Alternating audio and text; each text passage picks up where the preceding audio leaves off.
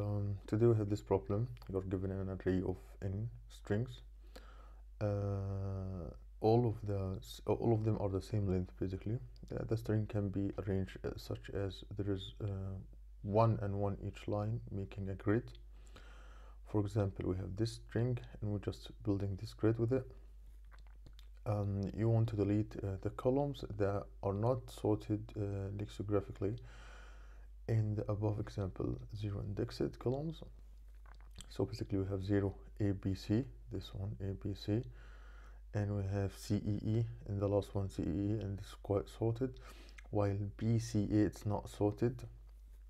So basically we want to delete this one or basically we return and the number of columns should be deleted. For this one we have only one column that will be should deleted uh, should be deleted which is the uh, the BCE this one also we have one column should be uh, uh deleted was I guess the G choi uh, no the DF no it's um, okay we have uh, B A oh, uh, uh, B A H. And yeah so on and so forth. I guess the problem it's uh, quite straightforward and let's uh, look how we could uh, we, how we can solve it um, i guess it's um, any problem that has matrix uh, sometimes look quite hard at the beginning but if we just give it a look it's quite easy. So basically let's just take an example. We have abc bce cee so basically let's just take this one as example. So we can um,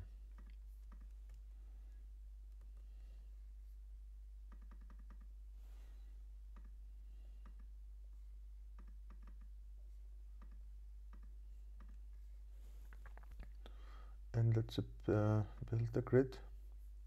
So basically uh, the grid that we are going to build we will have we will take the first of each one of them. So for here we take a b c and we take the second b c e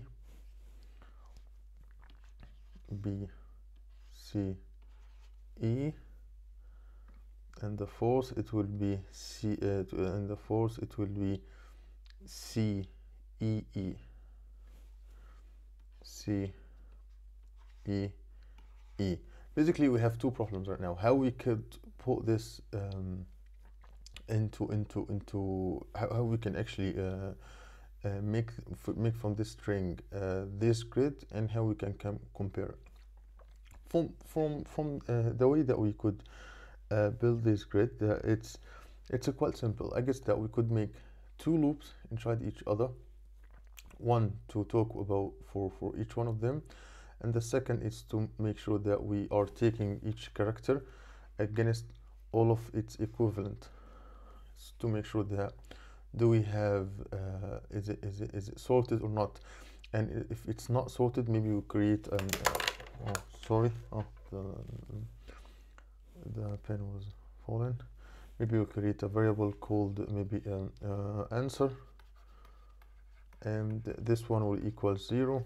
And whenever that we found um, one um, one column is not sorted we will multiply we will increase answer by one. So for this one answer will equals uh, will equals uh, one instead of zero and uh, and yeah I guess it uh, the solution will be quite straightforward. I guess the time complexity it will be O of uh, n multiplied by k. K it will be the length of the actual uh, um, string. And actually we can take about because all of the strings are the same length we can we can make this uh, solution even easier. So let's start into it. So okay let's see. I will say that we have um, let let k equals strings of of 0 no. And because all of them are the same length so just no need to to to loop once. So and actually I will let answer let answer equals 0 and I will return this answer. I will make a for loop.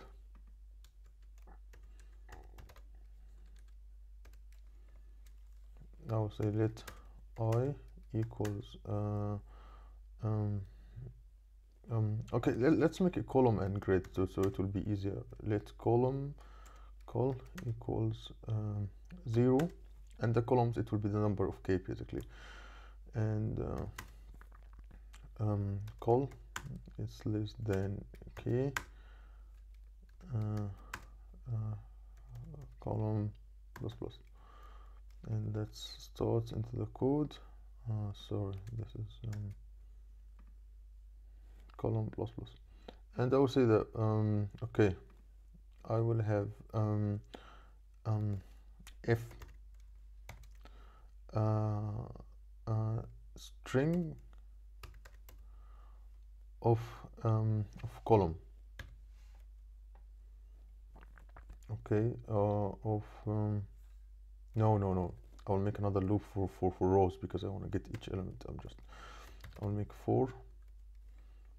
I will say for um, let row equals uh, I guess row from this one would equals uh, um, uh, one because we only compare it to to um, to to its previous. So basically let's go here we have each column each column and we are talking uh, about uh, uh, uh the, the, the, the, um, the rows basically. So I'm just comparing this to this and this to this. So basically let's just have row 1 I could make it uh, 0 also but I will just uh, compare it to the next not the previous. Row equals 1 row is row is less than st strs no. Length. And I will say the uh, row uh, plus plus. And and um, I'll say if strs strs of row of column less than